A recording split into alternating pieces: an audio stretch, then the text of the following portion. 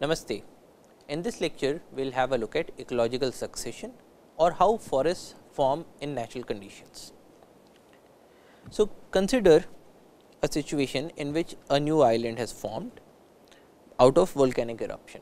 So, you have these lava flows that have constructed this rocky area. Now, in nature how does this rocky area get converted into a forest is the question that we are going to study in ecological succession. Now, evidently these rocks because they are so hard they are not able to support anything. Even though these rocks have the minerals that can support plant life, but because these minerals are embedded inside these rocks they are not made available to the trees. So, if you think of growing a tree in this forest, if you say make a hole in this rock and put a seed inside, this seed will not turn into a tree and this will not form a forest. But then there are certain stages or certain phenomena that happen on to these rocks that convert this land which is a completely barren land into a forest. So, what will happen? After a while you will start seeing lichens. Now, lichens are small plants and these are crustose lichens. So, crustose is something that looks like a crust. So, these lichens they look like crust and these form on these rocks. Now, even though these rocks are not able to support trees, but because they have the minerals, these minerals support these crustose lichens and these lichens when they form here after a while uh, they will die off. When an organic matter dies, it gets converted into acids. So, it will form some organic acids and these acids will start to disintegrate this parent rock. So, what is happening here is that you have a rock that is full of minerals, but is unable to support your trees, but you have these small crustose lichens that got formed on this these rocks because they have a very less requirement of nutrients. So, the uh, so their requirement of nutrients can be met by the surface layer of this rock or probably the small amount of dust that is coming from the air. So, these crustose lichens will form a uh, will form a layer on these rocks and they will start disintegrating these rocks. Now, when these rocks get slightly more disintegrated, so now some other plants can also come and colonize these rocks. So, the next layer uh, stage of plants would be the foliose lichens. Now, foliose means leaves. So, these lichens look like leaves. Now, they could not uh, colonize the, the barren rock because their requirement of nutrients is a bit more than those of the crustose lichens. They require a bit more disintegrated rock but once this rock has become a bit more disintegrated than the parent rock, now these species will be able to outcompete the previous species of that of the crustose lichens.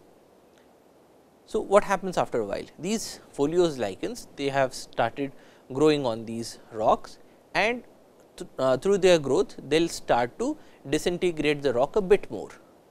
So, when they also die uh, some acids form they that leads to a small amount of weathering, some leaching of minerals and after a while we will start seeing mosses on these rocks. Now, the same process goes on and on. Then mosses get replaced by herbs or grasses. Now, once you have these herbs or even in the mosses stage, you will also start seeing some animals that have come on these rocks. Because these mosses or these plants are now able to provide food to the animals, they are able to provide shelter to these animals. Obviously, you will not be seeing uh, these mammals, but you will be, be seeing some small animals, some insects that come into this area. Then these grasses get replaced by the shrubs and then these shrubs get replaced by the forests. Now, at every stage what these different plants whether they are uh, lichens, whether they are mosses, whether they are grasses, shrubs or whether they are the trees. What they are doing is with every stage they are disintegrating the rocks a bit more. Now, when we come to the plant stages of say grasses, so grasses have roots. What their roots will do is they will start getting inside the rocks and then they will start disintegrating the rocks from a greater depth. And with all these different stages, we will see the formation of soils and soils will then support the larger species. And this whole process goes by the name of ecological succession. So, ecological succession is the process of change in the species structure of an ecological community over time. What is happening here is it is a process. So, it is something that takes place over some period of time and it occurs in different stages. So, it is a process. It is a process of change. So, in this process there are some changes that occur in your ecological community. What sort of changes? changes in the species structure of the ecological community. So, changes in the species structure is from uh, from an ecological community that was dominated by lichens, it becomes an ecological community that is dominated by say herbs, shrubs or the trees. So, there is a change in the species structure of the ecological community and this whole change occurs over time. So, ecological succession is the process of change in the species structure of an ecological community over time. And these intermediate stages that we just saw are known as the seres or a seral community. So, a seral community or a sere is an intermediate stage found in ecological succession in an ecosystem advancing towards its climax community. So, what it says is that it is an intermediate stage found in the ecological succession. So, succession is the whole process from uh, in which you uh, converted a bare rock into a forest.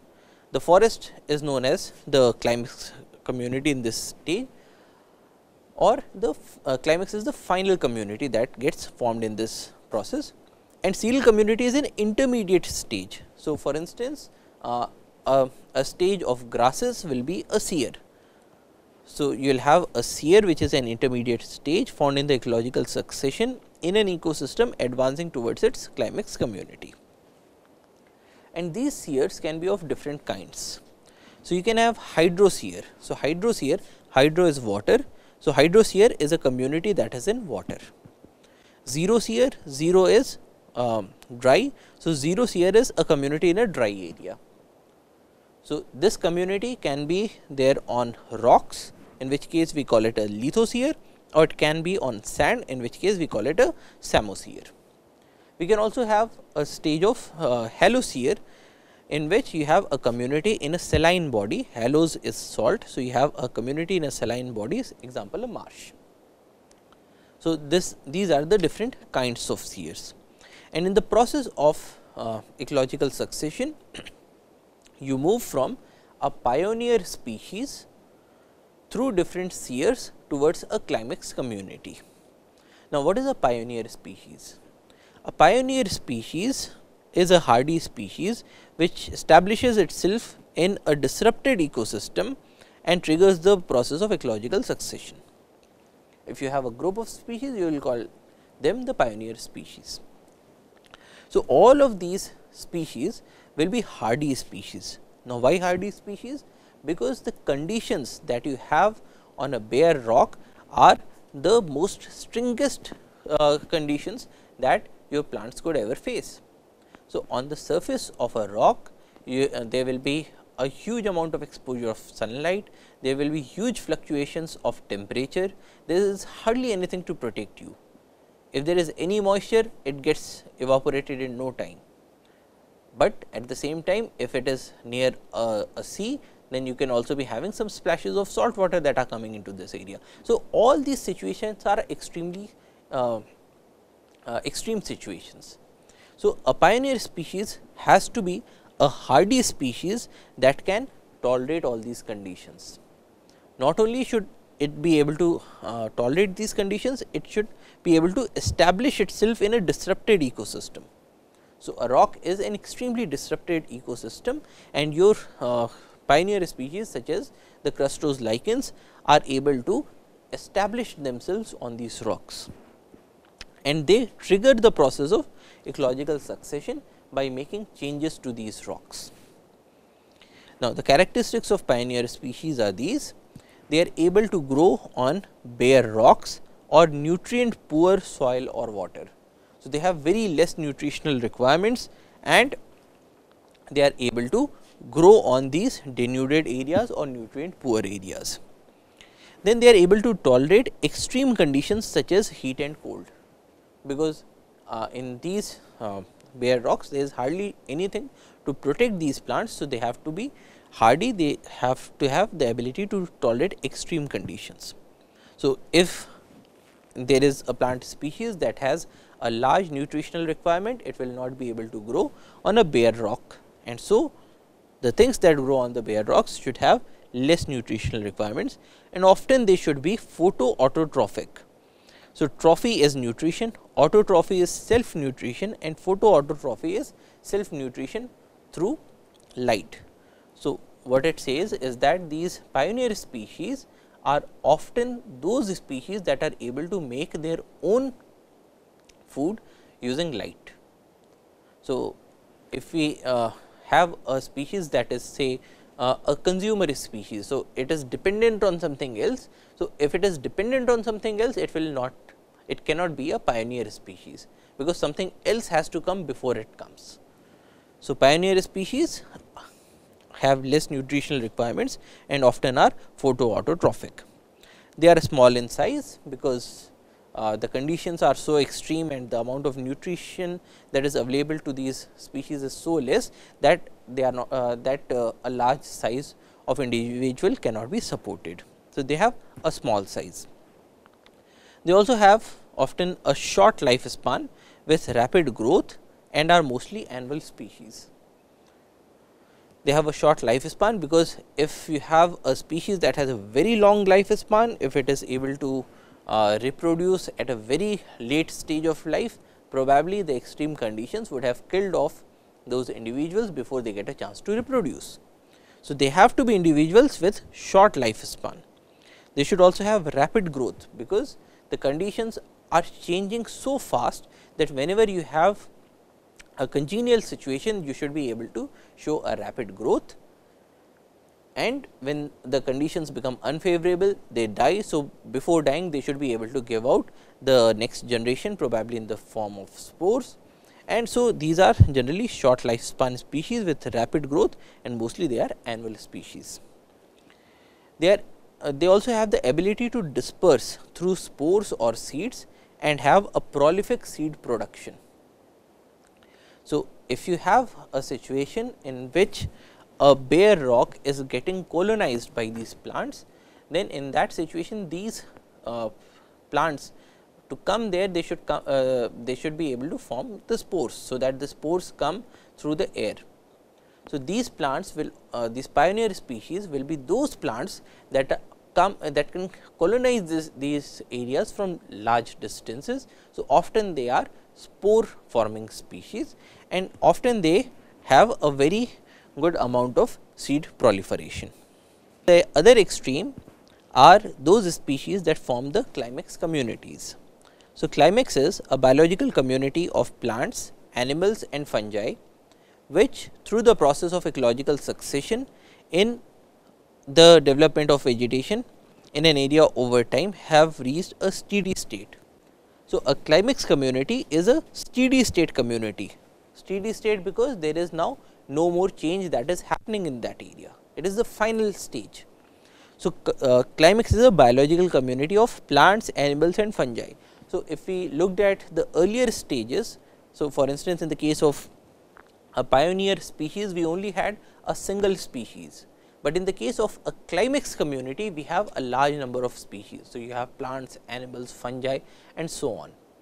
So, these different individuals, they are forming a community plants, animals and fungi, which has reached a steady state. So, they are now able to support themselves in such a way that there is now no more change that is happening in this community. And they have reached this stage through the process of ecological succession in the development of vegetation in an area over time. So, this is the climax community. and there can be different kinds of climaxes. So, you can have a climatic climax. So, a climatic climax is a climax that is controlled by the climate of the region.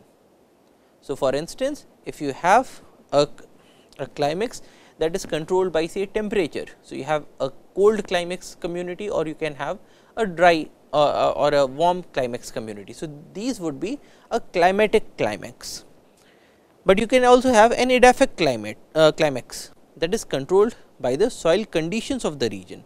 So, you can have a climax that is controlled by whether this area has sandy soil or whether it has alluvial soil for instance or you can have a catastrophic climax which is controlled by some catastrophic events such as wildfires or you can even have a disclimax which is controlled by disturbances. So, disclimax is controlled by disturbances such as man or domestic animals. So, you have a community in which you have um, some anthropogenic influences or you are having some uh, uh, cattle that are getting into this community eating up the plants and again and again they are uh, disturbing this climax. So, the community that gets formed in such a situation will be known as a disclimax. Now, the characteristics of the climax community will be roughly the opposite of the characteristics of the pioneer species. In the case of a pioneer species, you had the plants that could tolerate a very large range of environmental conditions, but here you will have vegetation that is tolerant of the environmental conditions of the place and they will not be able to, to tolerate very large disturbances. It will have a high species diversity. So, as against a pioneer uh, species that had only a single species, here you have a high species diversity. They have a well formed spatial.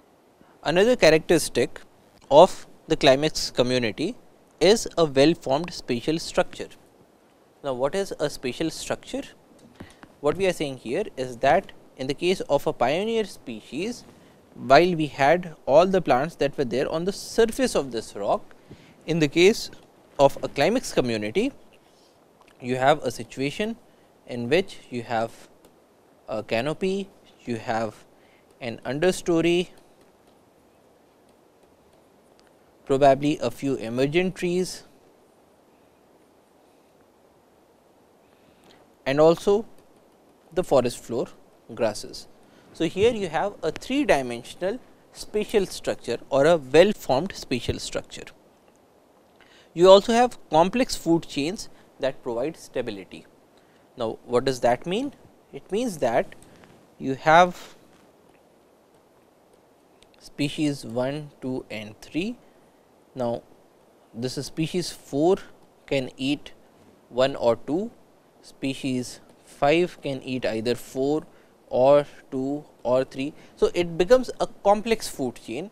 So, that even if you have the loss of one species. So, if species 2 becomes extinct from this uh, from this uh, climax community, still the other species will be able to survive. So, it is a complex food chain in which uh, there are species that are uh, uh, that are uh, eating different species which provides stability to this climax community. Then there is equilibrium between gross production and respiration, uptake and release of nutrients. So, there is an equilibrium, the amount of uh, gross production is equal to the amount of uh, energy that is getting released because of respiration. The amount of uptake of nutrients from the soil is the same as the amount of nutrients that are released back into the soil. Because remember that a climax community is a stable community. So, there are hardly any changes. So, everything is in equilibrium. So, the species composition continues for a long period of time and the climax community is a good indication of the climate and other conditions of the area. So, if you see a community that is a climax community, you can make inferences about the climate of the area, the soil of the area, the rocks of that area and so on. Because this is something that is constant over a long period of time and it will and it is reflective of the inherent conditions of that area. Now, let us have a look at the kinds of succession. So, we looked at ecological succession, but these uh, this ecological succession is also of different kinds. So, you can have a primary succession, a secondary succession or a cyclic succession. A primary succession is the successional dynamics beginning with colonization of an area that has not been previously occupied by an ecological community, such as newly exposed rock or sand surfaces, lava flows, newly exposed glacial tills etc., are referred to as primary succession. So, in the case of a primary succession, you are witnessing succession in an area that was never colonized before. So, it is a de novo succession. On the other hand, a secondary succession is the, the successional dynamics following severe disturbance or removal of a pre-existing community and this is known as secondary succession. So, the basic difference is that in the case of a primary succession, you have lava flows that resulted in a new rock. So, this there was no uh, species in the lava flows, there are no species on these rocks and then you start seeing the crustose lichen and the succession that happens here is the primary succession. Now, in the case of a secondary succession, you had a situation in which you had a well developed forest with say different layers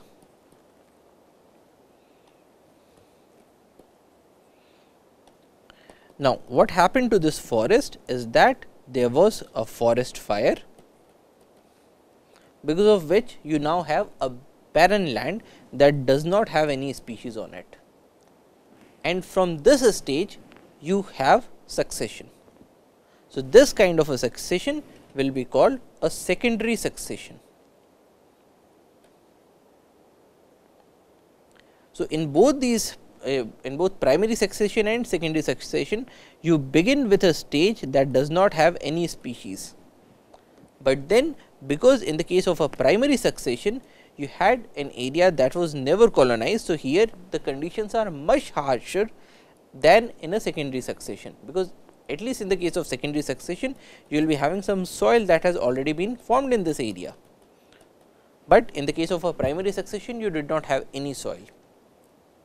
So, this is a secondary succession, successional dynamics following severe disturbance or removal of pre-existing community are called sec secondary succession. Now, you can also have cyclic successions which are periodic changes arising from fluctuating species interactions or recurring events. Now, what is a cyclical succession? Suppose you have an area with a well developed forest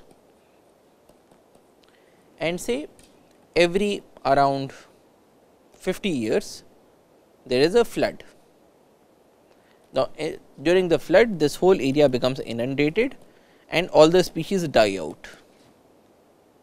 Now, after this flood you again have a bare soil. Here again you have a bare soil without any trees because all of those trees died out uh, during the inundation. And then during these the next 50 years they form a forest again. And then after this forest is formed over a period of 50 years you again have a flood. So, if you have these cyclical changes we will have a situation of a cyclical succession or a cyclic succession which is periodic changes arising from fluctuating species interactions or recurring events. So, there is a recurring event of flood which is leading to succession followed by another succession followed by another succession and so on. Now, if you look at primary succession, we can have this succession in over land or in water. If you have it over land, we call it a lithosere primary succession. Litho is rock, so you have rock shears and you have the primary succession. So, here this is what we saw just before you have rock followed by crustose lichen, followed by foliose lichen, followed by moss, followed by herbaceous stage, shrub, woodland and the climax stage. So, this is the lithosere primary succession. Another succession that can happen in water is the hydrosere primary succession. Now, in the case of a hydrosere primary succession, you have water followed by a phytoplankton stage. so, what is happening here is that you have a body of water with very less amount of nutrients and then you start seeing some planktons which are small microscopic uh, plants that come into this area that colonize this area and so you will have a phytoplankton stage. This will be followed by a submerged state. So, in the case of a submerged state you will have some plants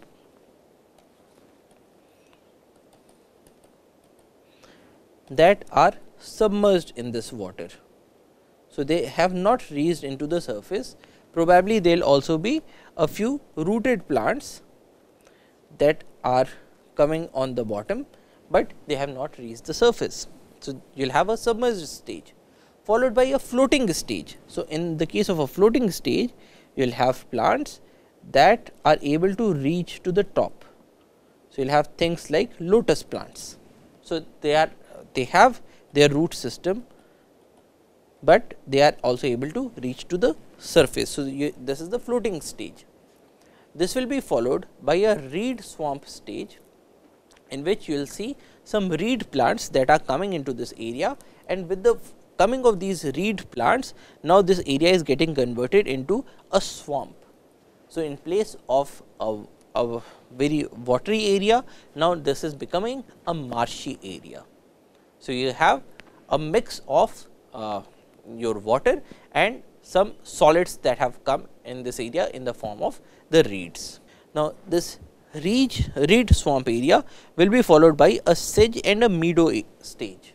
So, in the sedge and meadow stage you will have a solid surface that has come on this area because uh, all these plants have been dying and they have been accumulating organic matter on the bottom soil is getting formed and now you have a situation in which you have certain levels where you have plants, but then you also start seeing some grasses that are um, getting formed on these soils and on this organic matter. So, that is the sedge and the meadow stage. This will be followed by the woodland stage in which case you have small uh, trees that are getting formed over this area. So, now this water body has completely converted into a land and it has some trees in this woodland stage followed by a climax stage. So, this is a hydrosere primary succession. So, hyd hydro is water. So, you have the seral communities in water. This is a primary succession because it started with just water over a surface of land with hardly any nutrients and which was not colonized beforehand. So, it is a primary succession which is having seral communities in water. So, this is a hydrosere primary succession. A secondary succession on the other hand as we saw before you have a forest followed by a forest fire and so the forest is now uh, incompletely destroyed. Why is it incompletely destroyed? because you might be having some tubers, you might be having some seeds that are uh, not completely destroyed by the forest fire. So, in this case you have a situation in which you have this land, but you might also be having some seeds or some tubers that are inside this land and so they were not destroyed by the fire and so after a while they will start giving out the plants. So, here you have a forest which after a forest fire you have an incompletely destroyed fire uh, forest and which begins the herbaceous stage uh, succession followed by the shrub, woodland and the climax stage. So, this is the secondary succession. Now, typically secondary and cyclic successions are faster than the primary succession because of four reasons. In both secondary succession and cyclic succession, you have the soil that is already formed in this area. So, even though a number of individuals are removed, you still have the soil on which the plant life can be supported. You have spores and seeds that are already present in the soil. So, because of which you do not have to wait for new species to colonize this area. You already have some species that are left in this area and which can uh, jump start the process of succession. The regeneration of some plants from roots also happens. So, you will have a situation in which uh, the more complex communities will form much faster because uh, these plants are already there and uh, even though uh, the shoot portion is destroyed, the roots will start giving out small shoots and uh, uh, there will be regeneration of some plants. And also the soil fertility is typically high enough to support the organisms. So, you have the soil and you also have the fertile soil because of which your succession will be fast. Now, another kind of uh, classification or kinds of succession is autogenic versus allogenic succession. So, auto is self, gen is to produce and allo is other. So, autogenic is succession that is self produced, allogenic is succession that is produced by something else by some outside factor. So, autogenic succession is brought by changes in the soil caused by the organisms there or the organisms that are already present there. So, the changes that are being brought about by the organisms that are already present in the area is an autogenic succession. So, a good example is that you had a rock and on this rock you have this uh, crustose lichen which is acting on these rocks to disintegrate this rock and once this rock gets disintegrated you have certain amount of soil that gets formed and because of which your rock is now suitable to support the next stage of foliose lichen. So, this is a succession that is being brought about by changes in the soil or changes in the rock that is caused by the organisms already present there which is the crustose lichen. So, this is an autogenic succession. Allogenic succession is caused by external environmental influences and not by the vegetation. So, external environmental influences could mean that you have a situation in which you had this rock and then there was flood and because of flood you have a deposition of soil on top of this rock. So, now because you have this alluvial deposits, they will now jump start the succession, but this deposition of soil was not brought about by the plants that were already there. It was brought about by this external environmental influence in the form of a flood. So, the succession that happens here goes by the name of an allogenic succession. Now, autogenic succession the changes include accumulation of organic matter in litter or humic layer, alteration of soil nutrients or change in the pH of the soil due to the plants growing there.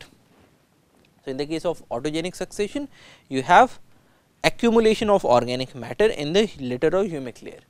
How does this org, uh, organic matter get accumulated? Because you have plants that grow there, after a while these plants age up and then they die and when they, they die their body uh, masses or the organic matters that were present in their bodies, they get accumulated in the soil. When they get accumulated, they get degraded and they form the humus. So, they form the litter layer which is when it is not completely degraded and when it gets degraded it forms the humic layer. Now, with this there are changes in the soil, there is an alteration of soil nutrients, there is also an alteration in the soil texture there are changes in the pH of the soil, because when uh, you have a, a, a, degradation of these organic materials, there will be the formation of organic acids. So, there will be a change in the pH of the soil and all of these changes are being brought about by the plants that are already there in that area. So, this is in the case of autogenic succession, you have all these different changes due to the plants that are growing there. In the case of allogenic succession, you can have changes in soil because of erosion. Now, erosion is not caused by the plants that are already present in that area. you can have leaching or deposition of silt and clays. Leaching because of uh, say rainwater. So, because it uh, uh, when it rains uh, some of the soluble minerals will get dissolved in the rain and then they will be moved out of this area. So, this is known as leaching. You can have deposition of silt and clay because of water or because of air. So, all of these changes are not because of the plants that are there in the area. You can have alteration in the organic in the nutrient content and the water relationship in the ecosystem, but none of these is because of the plants in this area. So, these allogenic successions can occur because of volcanic eruptions in the area, meteors or comet strikes, flooding, drought, earthquakes and non-anthropogenic climate change and so on. Now, we saw the whole process of succession, but if we wanted to uh, to name all these different stages, we will come up with these 7 phases of succession.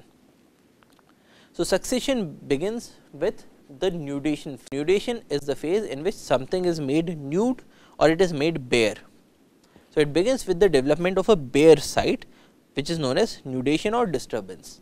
So, this bare site can be formed because of say a lava flow, it can form because of a forest fire that has um, made this whole area barren or devoid of all the living entities. So, this is the nudation stage. Next we have the migration stage. So, the migration stage refers to the arrival of the propagules. So, in the case of uh, this new rock that got created, the, these propagules came in the form of spores or seeds. So, these, the coming of these seeds is or the spores is the migration stage. After a while these migrated spores will establish themselves in this area and this is known as the ecesis stage establishment and initial growth of vegetation in this area. Now, once this uh, vegetation gets established the number and the pop the the number and the population density of these established individuals will increase with time. So, from ecesis we move into the aggregation phase in which there is uh, an increase in the number and the population densities of these individuals. Now, once you have this area that is having a huge number density, so now there is a competition for resources, because earlier you had a situation in which this soil or this rock was only supporting these individuals. But now you have a situation in which there are so many individuals that now the resources are now not plenty or not sufficient for all of these individuals. So, now there will be a competition or survival of the fittest. You will have competition as vegetation becomes well established, grow and spread, the various species begin to compete for space, light and nutrients. So, there is a competition for space because you have this piece of land or this rock that does not have enough space for all of these individuals. There is a fight for light, because if you have this individual, the it will be casting some shadow over the surrounding areas and so there is now a fight for light. There is also a fight for nutrients, there is a fight for water. So, there is a fight for all of these different resources which comes in the competition phase.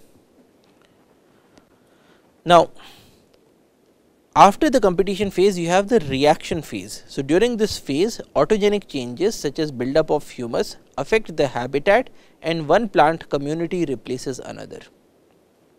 So, in this reaction phase what happens is that you had this bare rock and on this rock you had the growth of these lichens because these lichens uh, made changes into the rock and because they, uh, there was an intense competition. So, now some individuals of the lichens have started dying out and once they start dying out and because this uh, piece of rock is now no longer just a rock, but is having some amount of soil on top of it.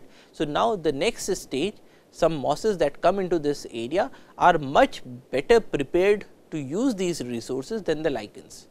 So, they will now outcompete and they will replace the lichens. So, this stage of reaction is a phase in which the autogenic changes such as the buildup of humus have affected the habitat to such an extent that it is now no longer uh, suitable enough for the original community and there is a reaction and there is a replacement of one community by the another community. So, this is the reaction stage and it is followed by the stabilization stage in which a supposedly stable uh, climax community forms. Now, when you have a reaction, a reaction will again lead to aggregation. So, when you have these mosses, then the mosses will start to uh, they will uh, establish themselves and then they will start to increase their numbers. When you have an increased number, there is a competition amongst the individuals of the mosses, which then again leads to a reaction. And in this reaction now your mosses get replaced by the grasses.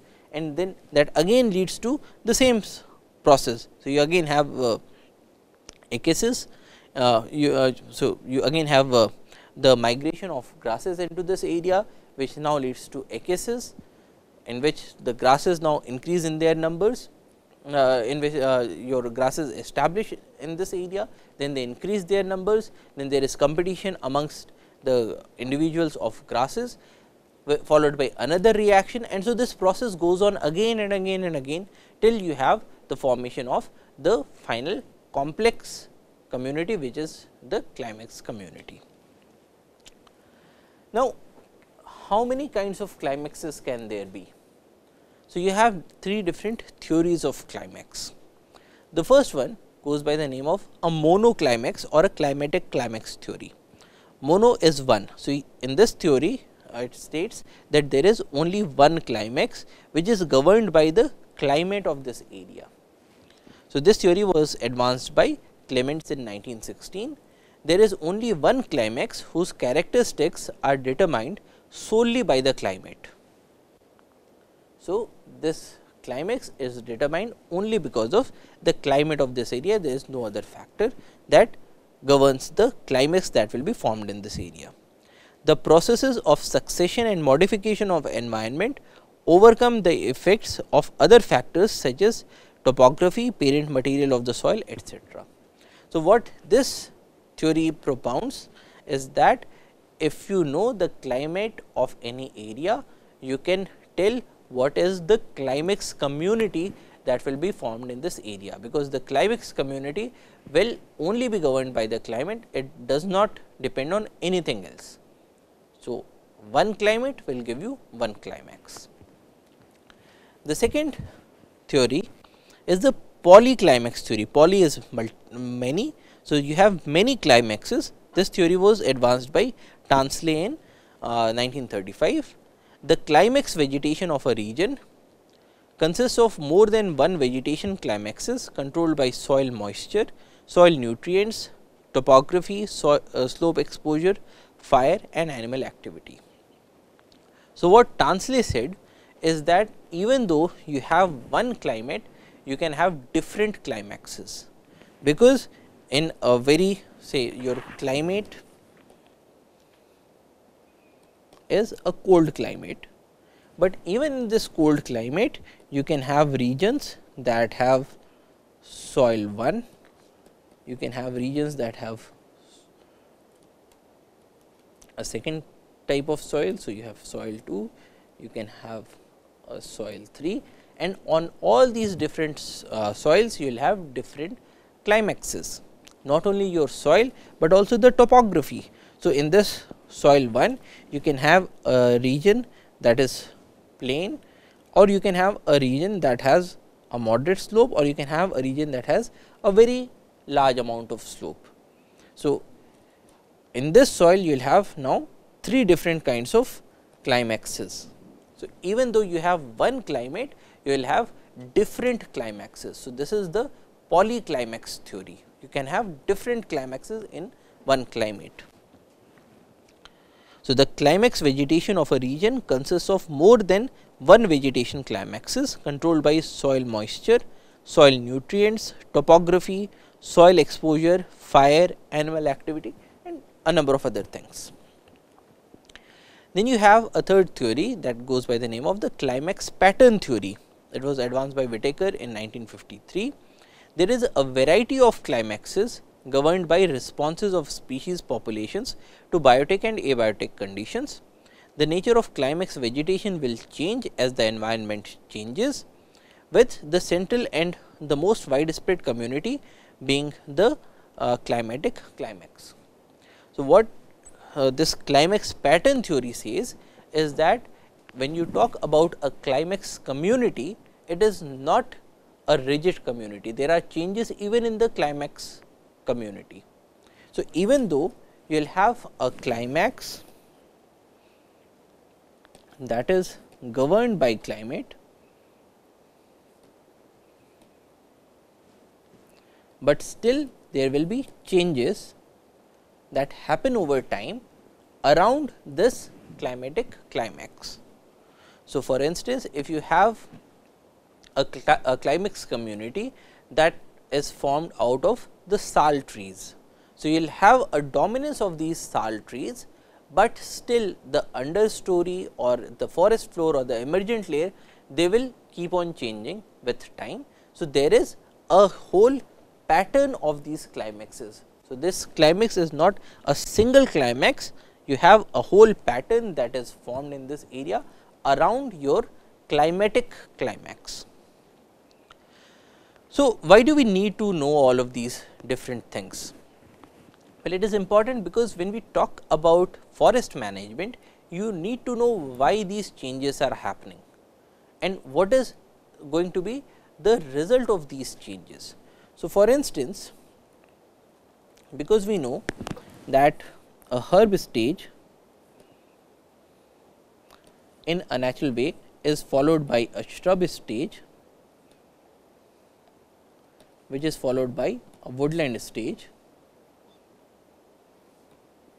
So, this information of ecological succession can help us predict what is going to happen in this area. So, a good example is the grasslands that are present in various national parks and sanctuaries.